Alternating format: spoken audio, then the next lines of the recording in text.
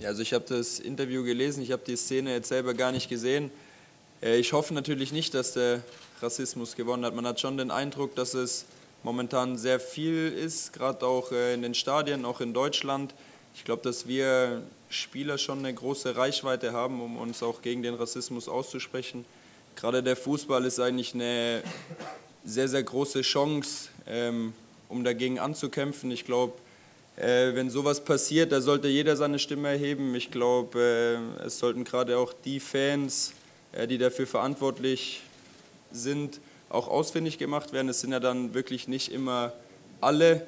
Äh, ich bin zum Glück, sage ich mal, mit dem Fußball groß geworden und ähm, ich glaube, dahingehend kann der Fußball schon auch ein Vorbild für unsere Gesellschaft sein, weil er schon sehr, sehr viele Werte verkörpert, ähm, wie zum Beispiel Toleranz, äh, Respekt, auch äh, Vielfalt, einen gewissen Zusammenhalt. Im Fußball ist es völlig normal, dass man äh, Spieler von verschiedenen Ländern, verschiedener Herkunft, verschiedene Glaubensrichtungen hat.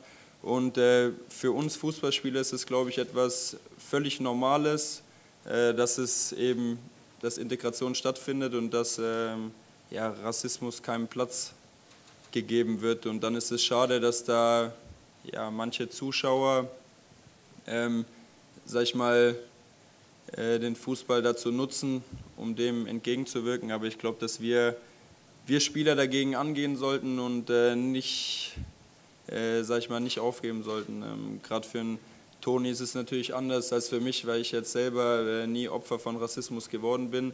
Ähm, trotzdem sollten auch wir uns dann äh, für solche Spieler wie Toni einsetzen.